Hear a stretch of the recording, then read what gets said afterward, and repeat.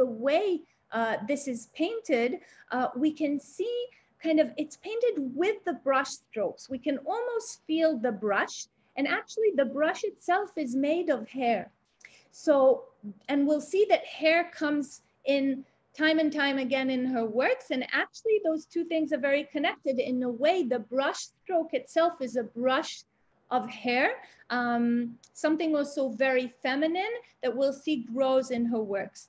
Here too, self-portrait as a book reader and, and her eye here is gazing at us kind of uh, uh, reversing the roles of who's viewing who.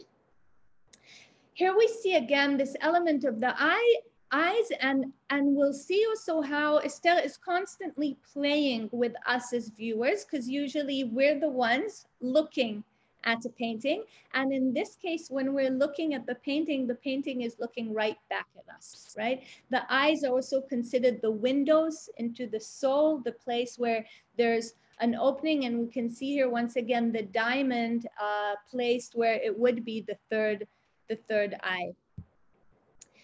And three, we're moving a little forward in time. You can see 2008, uh, three uh, uh, works that kind of throw us again, not only in terms of the theme, but also in terms of the construction of the paintings themselves to religious icon iconography, right? Paintings that are symmetrical, that have this feeling of entering uh, a space. And again, these elements you can see here in the title, a river of hair under geometrical bridge, right? Gate, and again, hair with cubes. This place where the hair itself becomes matter, uh, from the brushstroke to what hair symbolizes uh, uh, in terms of femininity and in, uh, in religion.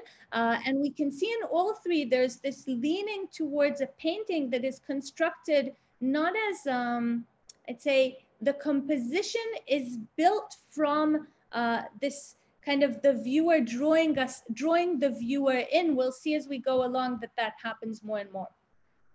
So uh, here uh, we're already at 2010, uh, Curtain with Tiger, and this is a, a different way to play with us, the viewers, right? Because actually what's happening, we're looking at the painting and we can't fully see it because it's covered with a veil.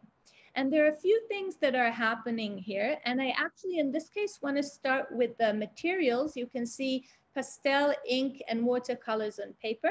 And already from that point, there's this, um, I'd say, painterly mischievousness because usually you don't mix. Like mixing oil-based uh, paints with water-based paints, it's like this big no-no. Uh, if you do do that, there are a lot of rules of how to do that. It has a lot of consequences in terms of the um, archival ability of the painting. So there's already this mix on the painting itself. And the other thing is this feeling that we want to move the veil. I don't know about you, but it's like, it's this feeling I, I want to, I want to move it. I want to lift it up. And as a viewer, I think there's something very powerful when a painting makes us as viewers want to take some kind of action, right? We're looking at it and we want to, we want to move it. And the veil or the curtain itself also has a lot of uh, uh, connections to Jewish tradition and religion. Uh, if you think of a synagogue and how many fabrics we see there, right? And um, the fabrics that are covering the ark, covering the bima. If it's an Orthodox synagogue, we might see uh, curtains separating between men and women. If you know some of the structures of uh, of the temple of Bet HaMikdash, then also there, there are veils and veils.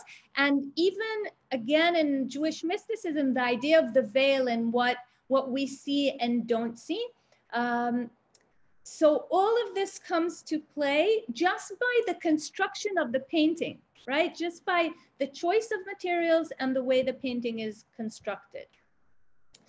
Um, we're moving on here and, and kind of, I feel it's like and the enters the stage another another theme but let's start with what we're seeing if you're looking at the um, at the title, you can see menorah after draw, drawing by Maimonides. Now, for those of you who know what a menorah is, um, or we know the, the contemporary equivalent of a Chanukiah, we usually wouldn't paint it this way, right? We know it as the very, the circular or semicircle arches. Um, and what we're seeing here is actually based on a drawing by Maimonides, by the Rambam.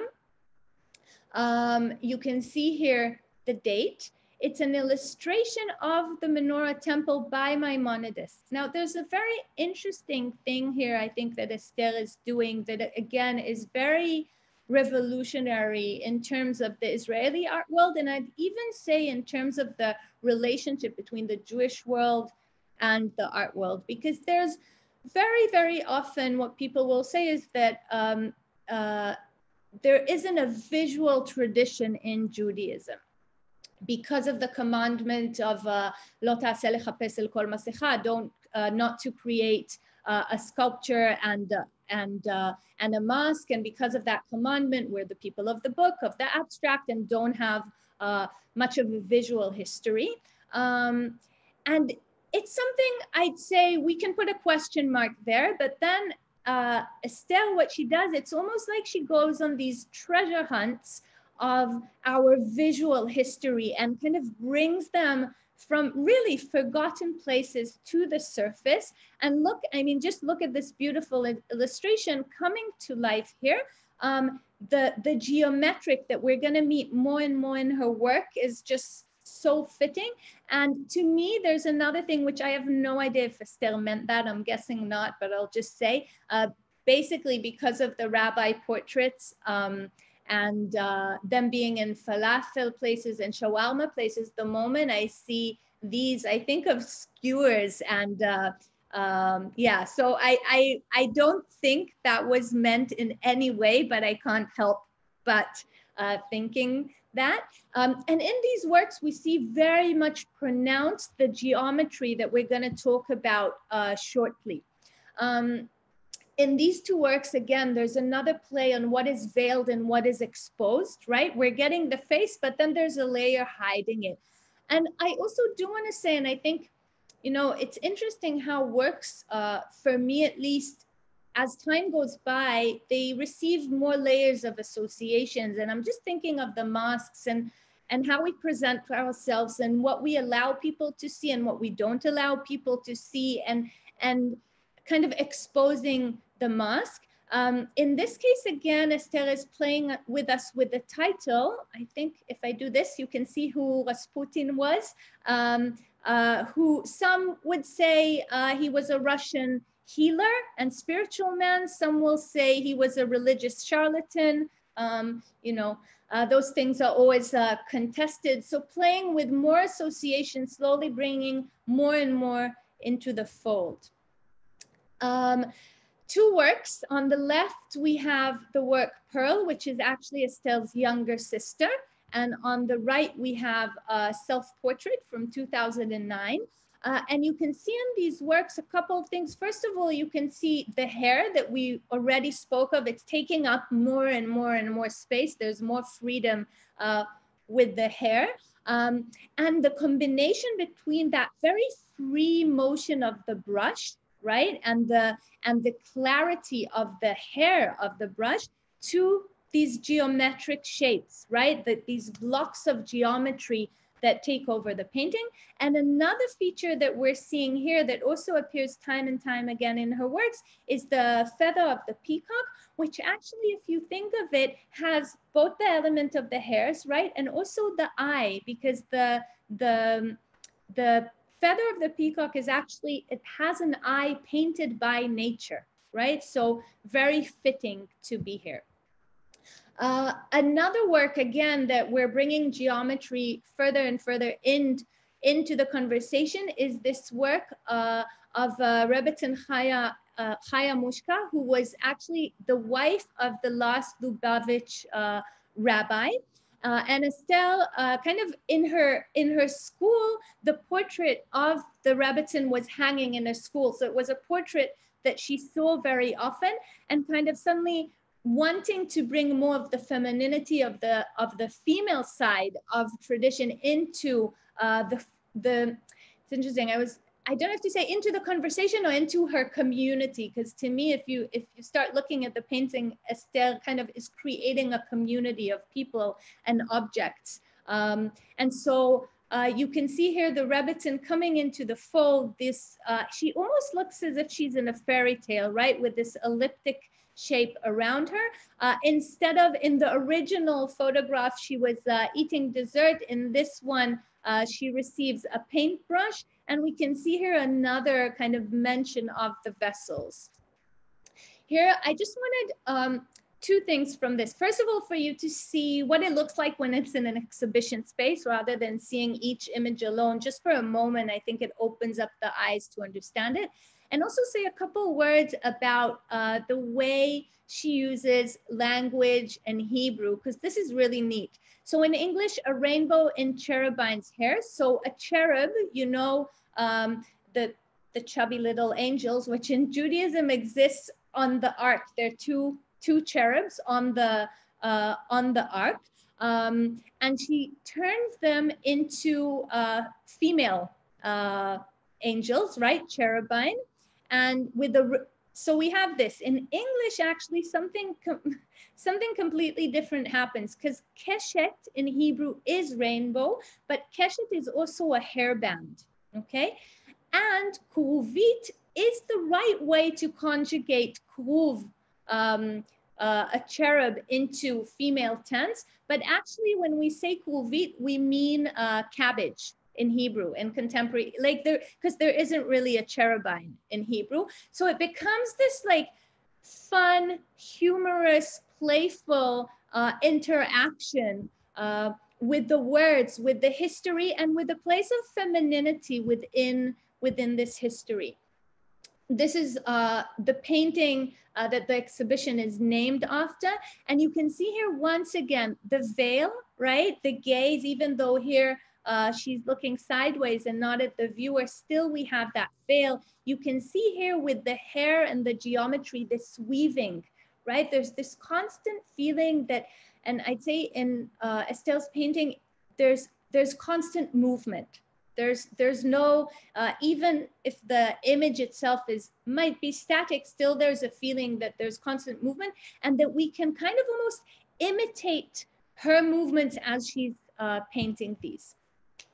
And what we're doing now uh, is actually kind of, it's strange. It's not really transitioning, but I'm like flipping in a way the perspective and, and we're entering another element which is very central in Esther's work. Uh, and we saw it in the geometry, but it's also the play with art history and specifically with Cubism. And we're gonna get also to a few others.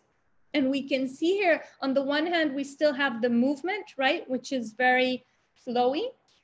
But we have here the tablets, these very, very clear uh, structures. Um, and I'll just say, usually when the tablets are um, drawn, they're drawn with this shape.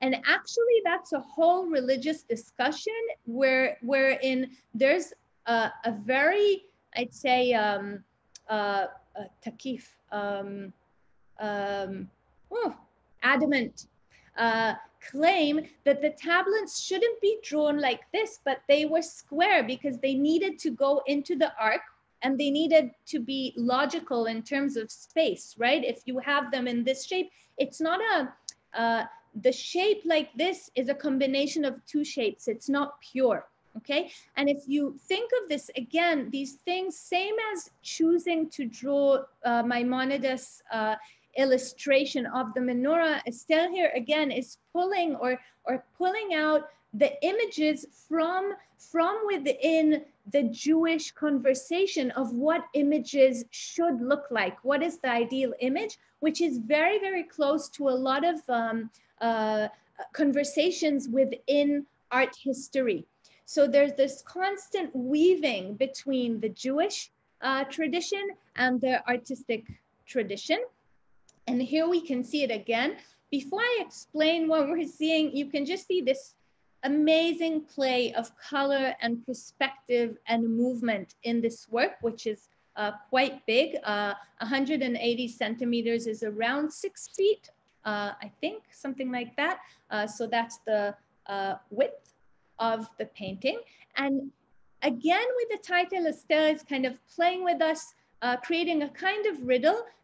For those who are familiar with art history, the moment we see uh, the word Annunciation. We think uh, there are many, many paintings under that word since uh, uh Christianity gave us uh, uh, many of them. Specifically here, Esther is painting with the, playing with the work Annunciation, the Annunciation by Fra Angelico.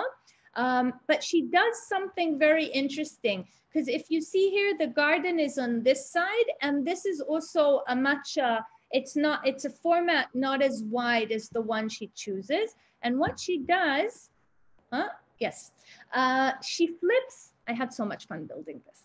Um, she flips uh, the painting, right? So that's one thing and gives the garden much more space. And now that it's flipped, you can see how beautifully uh, the geometry is aligned with the original painting. Now, it's really possible to fully enjoy this painting without knowing any of that. It's just that there's another layer, which is like, and I'd say in a way, if you think of a Jewish tradition of commentary, if you think of the Pardes, Pshat, Drash, Remez, Sod, the four levels of commentary on the biblical, which is the simple, uh, the storyline, the hint of, and then the, the mystical. Um, so Esther is kind of in each painting playing with us and, and saying, okay, you can enter and you can enter more and you can enter more. Um, and, and so giving us all these entry points into the paintings. Um, again, here the play with cubism, but also with art history in a few ways. Um, the foundation stone, which uh, uh, uh, takes us directly to Jewish mythology of the center of the world. The world, according to Jewish tradition, was uh, created from the foundation stone on Temple Mount, on Mount Moriah. And here we have a table at the studio. And I want for a moment, I'm, kind of taking a peek into art history and this concept of a table at the studio because it exists in art. And here we're seeing it uh, uh, kind of, I just chose quite kind of immediate images from Cubist uh, art. And there are a few things with this. First of all, you can see that also in art tradition, when a table is painted, uh, we get the surface and we get also below the surface, right? What, what is seen and what might be hidden. The other thing, and again, in Jewish tradition, a table is considered also an altar. Um, there, there are laws of uh, um, Shulchan, it's funny, uh, the, the Jewish stuff is in Hebrew and I need to translate. The art stuff I know also in English. Uh, like there's a saying that a table that uh, words of Torah uh, weren't uh, said around the table, it's, it's, it's as if uh, desecrated altar. Okay, so the table in art history, as we can see, exists, but it's also an elevated space within Jewish tradition. And we can see here Esther is playing with that, with a combination of the mystical and the mundane, just the table at the studio. Uh, in this work, we have kind of a few things that are coming to play here. Again, a table, but we're getting a city. And also we can see here something of the playfulness with the canvas itself, because if you look carefully at the four suns on the corners of this painting, first of all, it, it's almost as if the painting was drawn from the outside in, right? She's catching the canvas uh, as if we're looking from above, right? We also have that city there. And with the colors, it's very easy to think of Jerusalem, the city of gold. And also playing with almost how kids would draw suns, right? If you if you lately seen a, a child uh, painting, uh, very often we have this exactly what we're seeing here on the painting and then the rays coming in. So also this play with with uh, the I'd say very often the mystical can border with the naive or the childlike, but from a place of, uh, of wisdom. A couple more uh, tables uh, from, uh, from the studio. And you can see also the humor uh, that comes to play in these works, like the table with shoes over here, and this constant play between, uh, I'd say, art history, um, the studio, Jewish tradition, all, all coming in uh, together. And here it's very, very, very clear. Um, so maybe I'll, I'll just also say, if we take one of the major um, or foundational elements of Cubism, it was uh, uh, refusing or, or putting aside this notion of a static image and painting it from one angle, but rather trying to deconstruct and then reconstruct the painting to include in one flat surface all the possible viewing angles. So a very revolutionary way of thinking about painting. Um, and here Esther is playing with us in a few ways. You can see here, here again with the title, A Constructivist Havdalah. So constructivism and specifically Russian constructivism, another huge art movement. And for those of you who are familiar, this is definitely kind of, you can see architectural uh, paintings and sculptures uh, of these forms. And Havdalah, for those of you, I'm assuming most of you are familiar with the ceremony at the end of the Shabbat. Havdalah in Hebrew is uh, to uh, lehavdil is to separate or to mark a difference. And the Havdalah is a ceremony uh, that takes place at the end of Shabbat, of uh, um, after sundown, and marks the ending of the holy day of Shabbat and the beginning of the days of the week. And we have in that ceremony the wine the, the fragrance and the fire that involve all of our um, senses in the ceremony. So all of them appear here just in a very different form and bringing together kind of the, the art history and the Jewish tradition.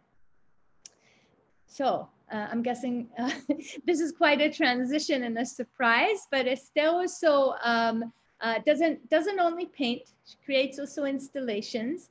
Um, and we can see here uh, a few things. First of all, these are made, uh, you can see actually here all the different materials.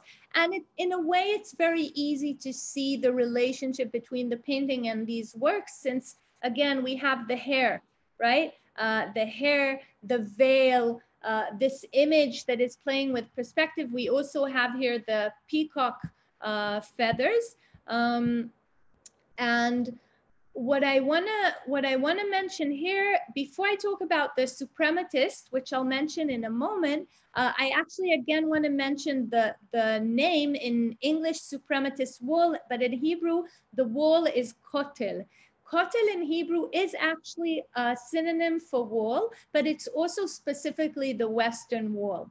Okay, um, and why suprematists? So let's try and understand this. Uh, again, Esther is taking us uh, on, a, on a riddle journey uh, through art history.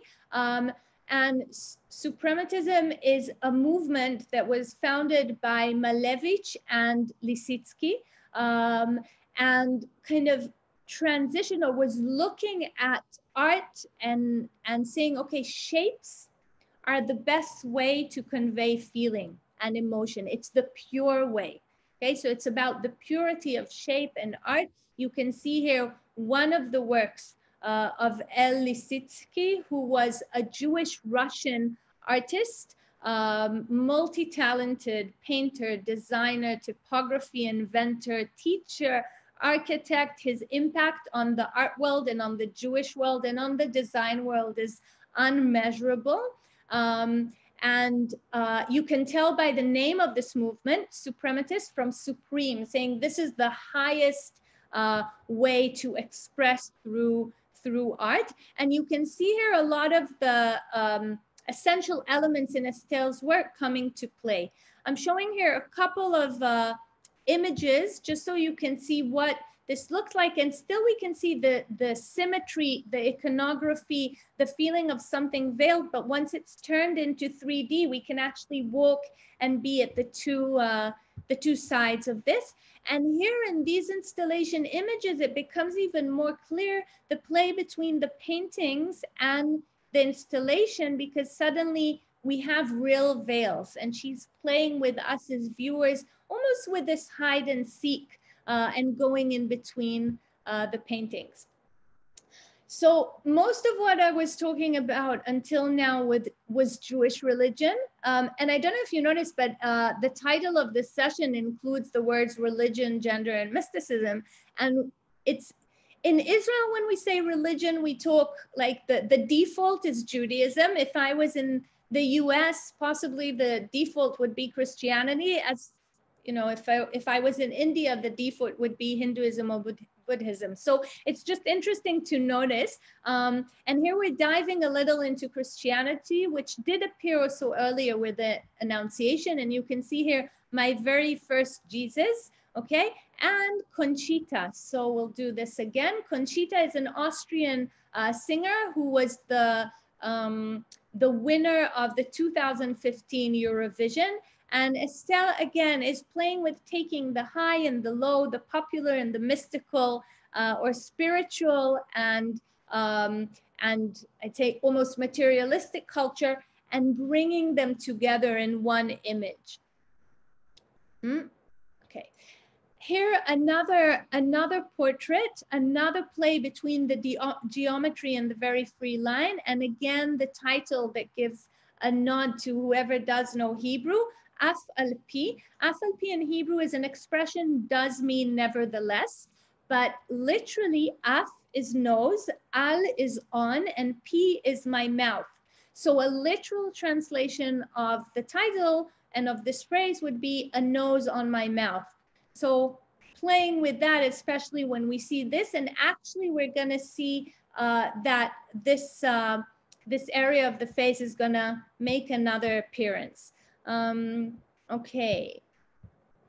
And here we enter another installation uh, in uh, uh, a gallery in Tel Aviv.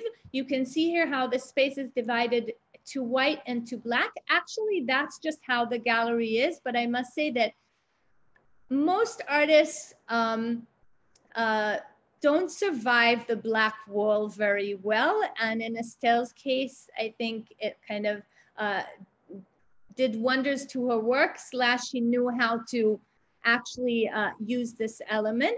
Um, and before I talk about the installation, I wanna talk about this piece because um, it kind of helps us understand a few things also about the suprematism, which I was uh, mentioning. And you can see here, uh, suprematism is the rediscovery of uh, pure, pure art. I'm, I'm uh, skipping the black square on the white field was the first form in which non-objective feeling came to be expressed. The square equals feeling. The white field equals void beyond this feeling. Now this text is actually written about this very famous painting by Kazimir Malevich, which I'm guessing for many of us, if we just encounter this and we're not too versed or in love with the art world, it's almost annoying. It's like, why is this art a black square on a white square? However, if you think of this, and if you ever try to truly convey what you feel, uh, and how almost impossible it is to actually say in words what's going on inside, then we can then appreciate the search, really a spiritual search by artists to translate what can't be translated from the inside to the visual, right? And suddenly this becomes a very, very powerful um, statement. Now in Esther's work, we can see a few things and you can see first of all the title Tohu coming from Genesis. Tovavo is the I wanted to say the nickname. It's the phrase used uh, in Genesis to describe um, the what was or what wasn't before the world was created. Uh, so it's hard to say like it's it's almost impossible to give a synonym to that name, right? Because we live in the world, so we have no idea what was here before the world. Uh, so we're left with tohu. Um, and you can see here in this work how, I don't know if to say it's, I could say it's the feminine version of Malevich, but I'm not certain about that. I think it's almost the contemporary version of Malevich where uh, the square isn't the square, the white isn't the white. Like it's a mess. Even this attempt to convey anything pure is almost uh, doomed to fail. Um, I'm just looking at the time and we're gonna skip, um, yeah, I'm gonna skip forward in favor of also a conversation um, so that we have enough time here. And we're looking at uh, one of the latest exhibitions um, uh, by Esther. This is kind of a, a panoramic view of, uh, of the gallery. Again, the name rouge in Hebrew, odem, which is both rouge and lipstick. And in this uh, exhibition, the I, would say the feminine comes uh, to the center of, uh, of the stage in these works. And I'll mention, I'll show a few works and, and say a few words about each. You can see here the point of view, right? It's almost like if you did this with the hands, they would be, uh, if you did this with your own hands, they would be parallel to the painting. But with the scale, you can see, um, and we have the needle, the threading is now uh, not only the paintbrush or the, the um, the painterly action that is threading within the painting, but actually this uh, uh, tool is part of the painting. And this work, which um, it's kind of hard to see here. If you look at the size, it's very tall. This is 6.2. So you're standing in front of this magnificent uh, painting creature woman, um, kind of kissing the sun, having the honey drip all over her, a very iconic uh, image and a celebration of femininity. And you can see here the hair just takes, takes over everything.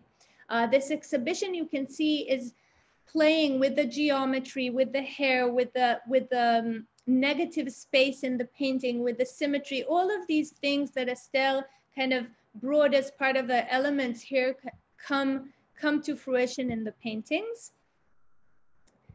And I want to end before opening uh, for a conversation with Esther uh, with this uh, small painting. So something like this, I'd say, uh, that's called Angel Touch. And we see again this area of the face that receives the major focus. And actually it alludes to a beautiful, beautiful story in the Talmud, in the Gemara, um, that says that when a baby, uh, the story, by the way, includes very quite accurate uh, descriptions of what a baby, the formation of a baby in the womb. And it also says how when a baby is in his mother's womb, they can see from the end of the world to the end of the world, meaning they know everything, right? It's a full circle, and that's true to all babies. And when they're born and they come out into the world, an angel come, comes and smacks them here, over here. And this smack creates this mark and it makes them forget. So this story kind of tells us we all knew everything.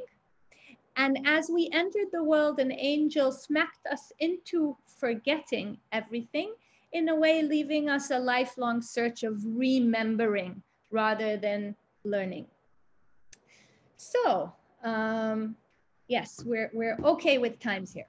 Um, so what I want to do, I'm to stop sharing for at least uh, the beginning of, uh, of this conversation. And I want to ask Esther if you can unmute. Um, and we'll start with a conversation between me and Esther, and then we'll open up for, uh, for some questions. Shirel, can I just say one thing?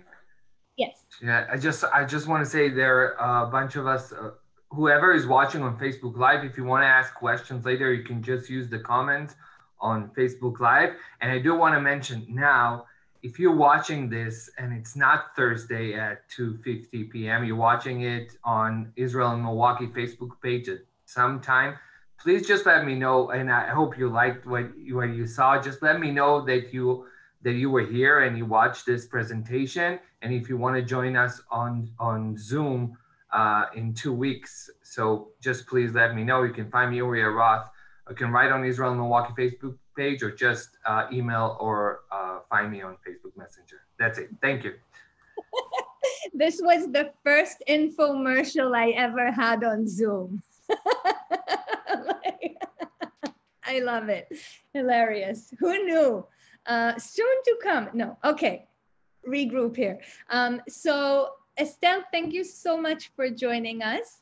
And I think before I dive into a few questions, I do want to ask you if there's like anything crucial you feel you want to add to what is was said, like you know, seeing your work kind of displayed in public and saying, yeah, but there's one more thing I want people to know before we go into questions. So if there's anything like that. Um, and no, I think for me it's all very interesting to listen about uh, listen about my works from another side, and this is for me it's most important. Like uh, this is my uh, pleasure that uh, someone sees it and reads it, and so I don't feel any, like I'll I'll I'll, um, I'll add while, while, we're discussing, but uh, okay. no comment till now. Thank you, Shirel. Okay. Maybe I'll start by asking you about the way you approach a painting. Do you know from the start what you're gonna do? Uh, does it come, like if you can share a little a bit about your process? So uh, sometimes it appears as an idea in my sketchbook um, and then I just develop it on the on the canvas. But uh, many times uh, I just start without knowing. And uh, for example uh, and it's very important it's, it's like two kind of processes. And it's also very important for me because i don't want to come uh, as someone that knows like uh, like i want to to to reveal something for myself also when i work. So many times i'm i'm going i'm saying like i'll do this wave and i'll watch and see what's going on what, what is going to happen there uh, for example, all these wave paintings that we saw at the last exhibition, it was just uh, waves on my studio for quite a while, maybe one year, and I was gazing at them and thinking, what will emerge there? And then when I had the, the guts to, to touch it, because it was uh, beautiful as it, as it was at the beginning, like it was, hmm, I like it.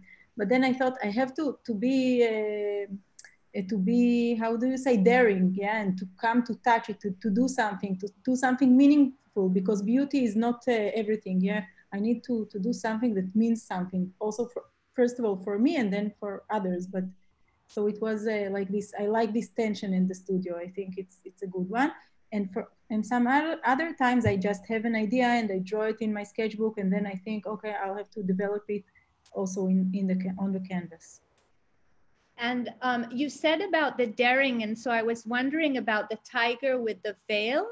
Um, like, did you know there'll be a veil there, or no? Or... It was really something uh, daring that I did because first of all, I covered it and you couldn't see it. So first of all, I wanted to paint the, the um, uh, to paint the tiger, so a, a portrait of a of a beast and then, uh, like before, uh, before I painted the tiger, I painted the tzvi, tzvi Eretz Israeli, like the, the gazelle, the Israeli gazelle.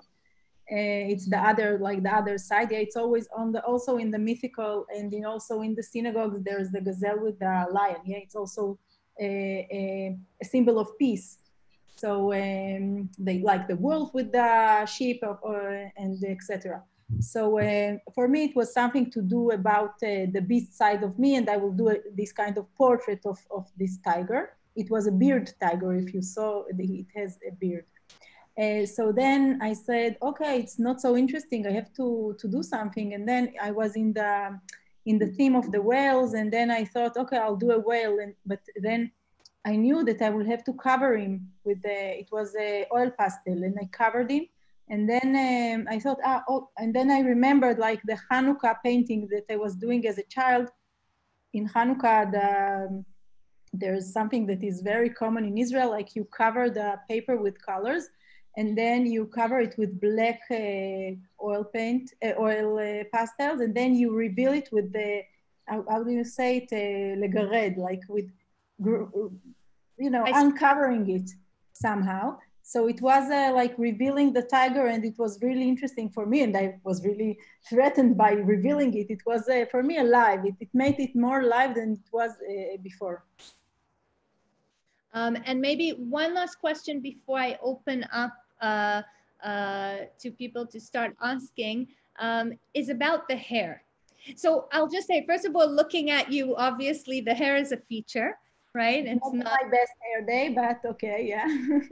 uh, from here, it looks great. Um, but when do you, did you have a moment where you realized that, where it kind of appeared? Because you know, I think there's something we often see the art in museums, and we see the end stage, and then when we also get a very uh, coherent story behind it. And I'm curious, like, to go even a little further back to the moment you discovered, uh, if you remember, if that's something like that you can share. So uh, for me, of course, uh, like uh, as a child and also as a Russian child in Israel, my mother always wanted me to brush my hair and it was really problematic for me because the curly hair, it doesn't look good when you brush it. Uh, so I had a conflicts with that. Uh, but when I started painting, I really wanted to, to go uh, away from uh, the traditional, um, like uh, my traditional uh, um, education, like with a Russian teacher that taught me still life and like working from uh, how would you say? Working from observation. Yeah from observation exactly. And i wanted to do something else. It was my little uh, rebe uh, rebellion? No mered? Yes, yeah okay.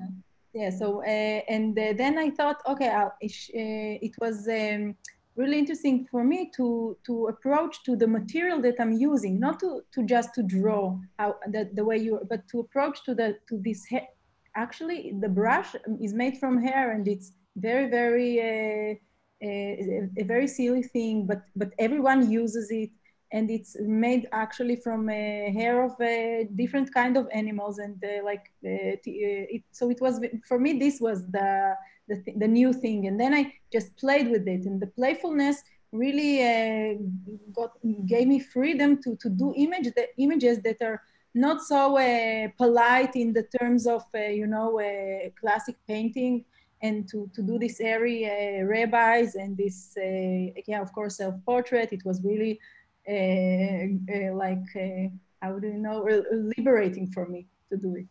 So it was the beginning, yeah. Well, first of all, thank you so, so much. And I see we already have one question. So uh, Rachel is asking, what is the significance of the beard on the animal and on you in your self-portrait? Okay, so it's interesting.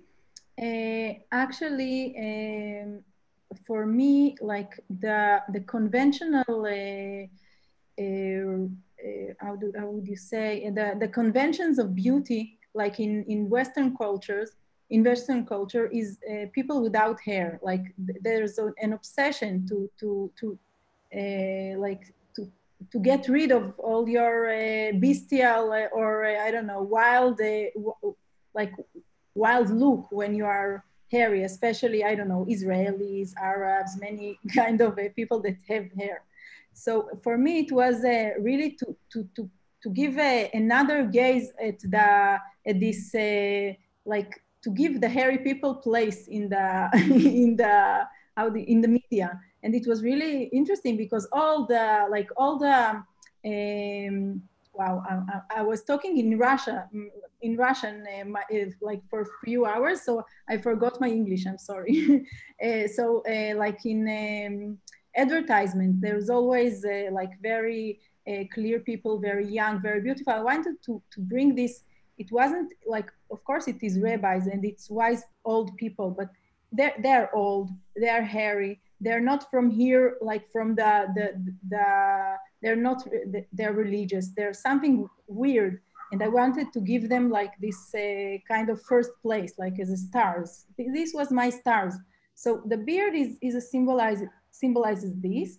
And like, uh, of course, I, I really uh, learn and I really love um, a different kind of uh, mystic text. And there's a, a theme in, uh, in the Zohar uh, that calls Tikkunei Zakan, like the fix, fixing of the beard of God.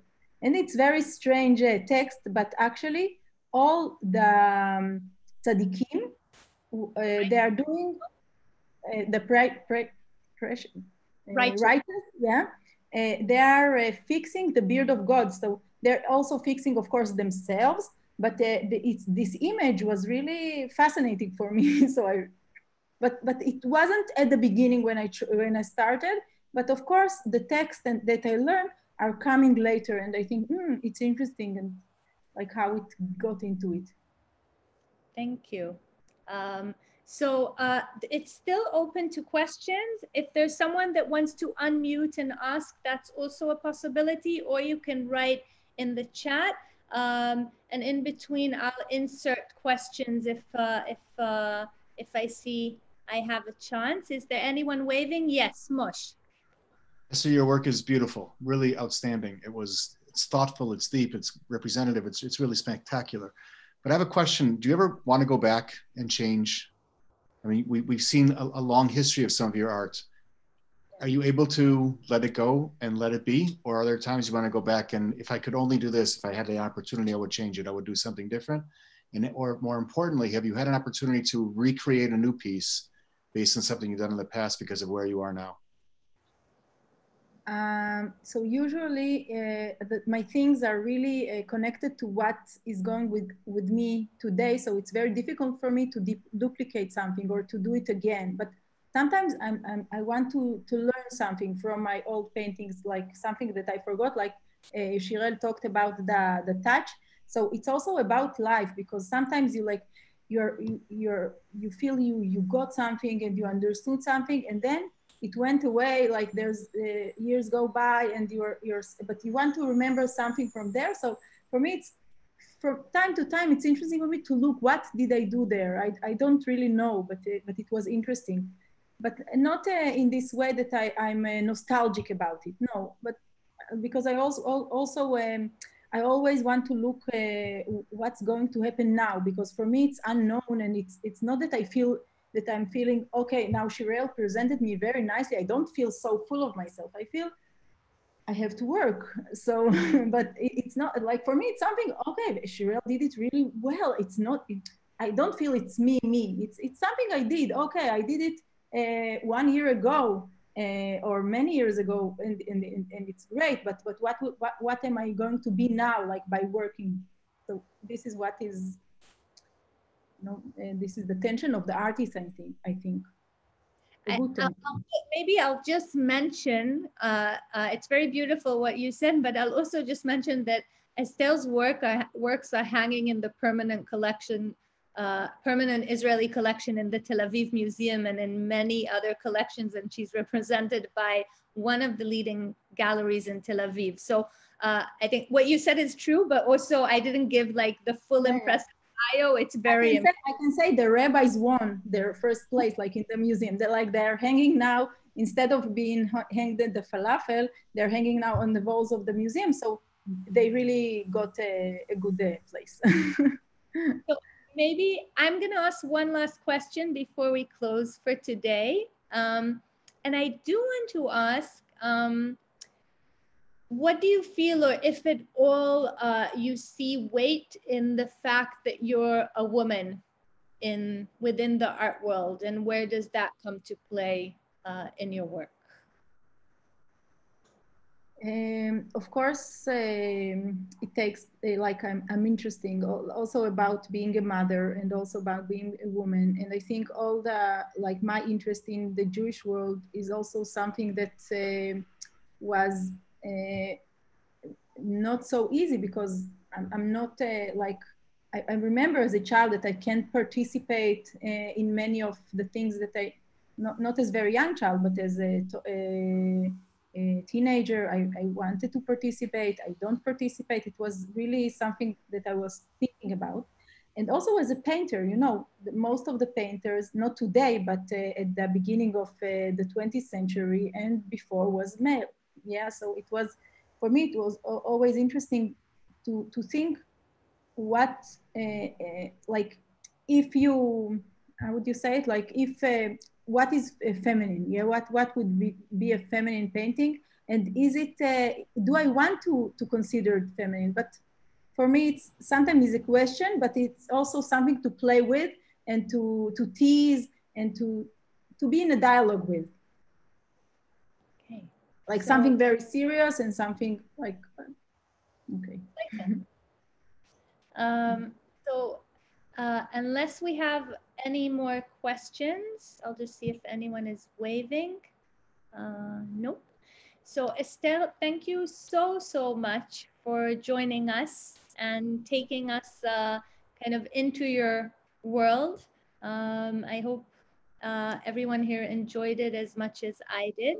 Um, and possibly through Ulia, we'll also send out your website and some uh, ways for people to, because I think we we kind of rushed through your works, um, and uh, I think being able to gaze at them a little longer can be uh, special, especially for those of you who now know so much about uh, uh, her work. So we'll share uh, the links so people can keep browsing through your works. So thank you. Thank you everyone. Thank for you. Thank you, Shirel. I want to thank Shirel. I want to thank Raz, and I want to thank Esther for this fabulous presentation. The program was just amazing. And just to see your work and to just have an opportunity until we can go back, go back to Israel to the museums and go back here to the museum and have a chance to see art with our own eyes in person, live. So, but that's like the next best thing. So thank, thank you, everyone. And please join us in two weeks. Our next presentation. Um, October 29th, uh, 2 p.m. And please join us. Uh, Shirel, who's the next guest in two weeks? We'll be meeting uh, Hilla Toony Navok, uh, talking about her sculptures and installations. Uh, Toony is the late the winner, the 2009